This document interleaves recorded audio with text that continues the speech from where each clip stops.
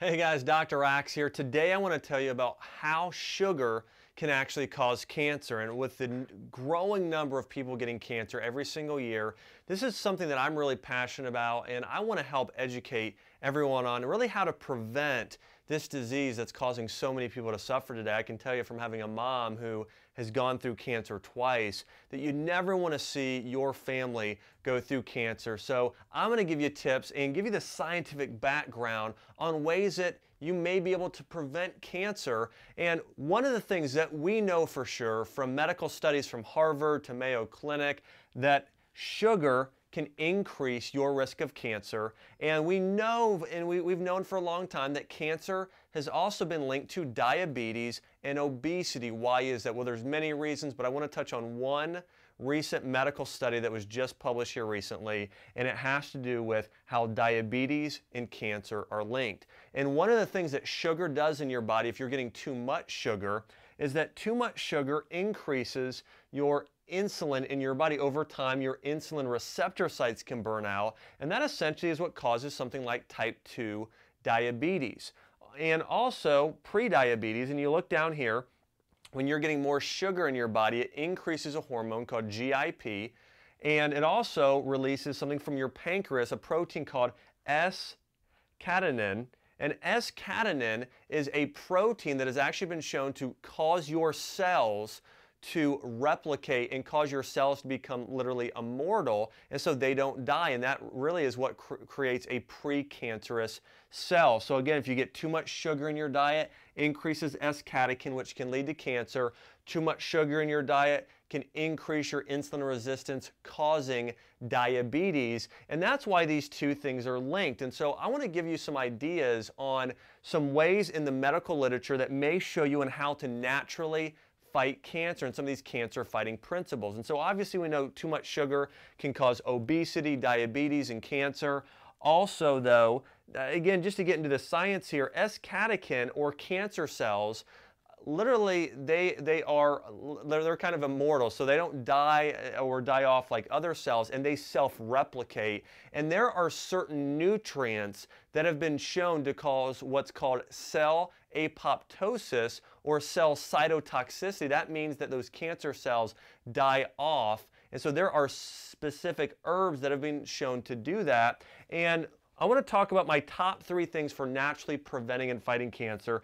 My number one here is getting more fruits and vegetables in your diet.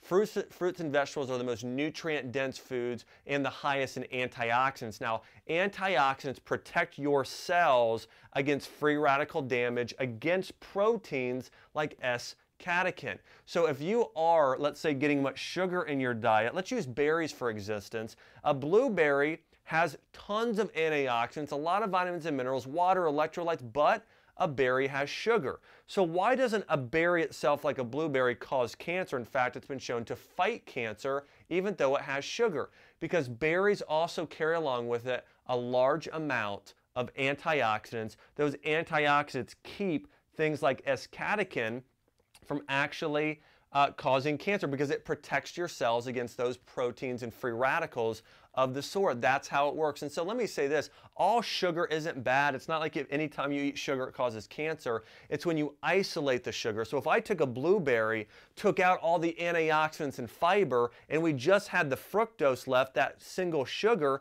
could that increase your risk of cancer? Absolutely. And that's why getting your sugar in whole food form, in something like a blueberry or a banana, you're getting fiber with it, you're getting uh, other nutrients that actually will keep it from causing cancer and in certain ways fight cancer, get more fruits and vegetables. I recommend doing a berry smoothie for breakfast, juicing vegetables or eating big superfood salads anytime possible for a cancer prevention technique. Number two here, get more healthy fats in your body. You can see here that these hormones are so important when it comes to diabetes and cancer. In fact, many cancers today are linked to, they're known as hormonal cancers, and that hormone, GIP it's called, is released when sugar is eaten in your body or if you get too much sugar and that hormone hormones can actually increase your risk of diabetes and cancer if things like cortisol are too high or your progesterone levels are too low and estrogen gets too high when your hormones get off increases your risk of cancer. And part of that is also due to getting unhealthy fats. You know, fats are important for cell communication. They're, they're important for every, every cell in your body. In fact, you have 75 trillion cells in your body. Every one of those cells has what's called a lipid bilayer. Lipid means fat. Every cell in your body has fat. And so those fats are responsible for the health of your cell, what's get, what gets in your cell, what's get out, what, what gets out of your cell. Fat is important for that. And so recommend getting healthy fats and following what we call the Budwig protocol. Now, Johanna Budwig was a German researcher and she found that when your cells were sick, it was due to not having healthy fats in your diet. And she did a protocol mi mixing cultured dairy like cottage cheese, kefir, also known as quark.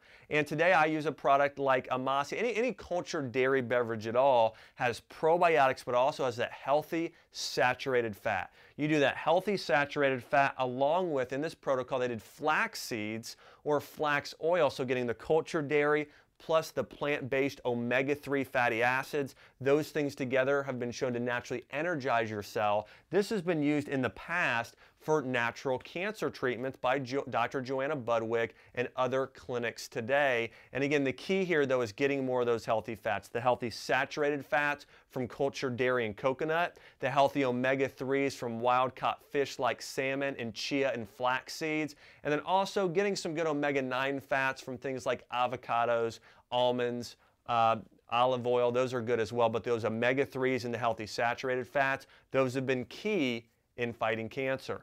Also, herbs. These herbs, curcumin, which is found in the herb turmeric, and bromelain, which is an herb or I guess a nutrient known as a proteolytic enzyme that is found in the core of a pineapple. The highest dose is in the core of the pineapple. These nutrients have actually been shown to cause what's called cell cytotoxicity or cell apoptosis. They've been shown to actually fight and kill off cancer cells. And so doing certain herbs like turmeric, doing the bromelain, so eating herbs in large amounts, sprinkling them on your food, putting cinnamon in a smoothie for, for breakfast, or supplementing with these herbals, especially in their fermented form, is a great thing to do to naturally reduce your risk of getting cancer according to the medical research. And so put these things into play. Again, for myself, having a mom, having family members and patients I've taken care of over the years, you never want to get cancer. And so be proactive. Let's reduce your risk by getting more fruits and vegetables, healthy fats like healthy saturated fats and coconut and, and cultured dairy products like kefir also getting the omega-3 fats in chia, flax seeds, and salmon, and getting more herbs like uh, curcumin from turmeric and bromelain from pineapple. You do that, you're well on your way to fighting cancer.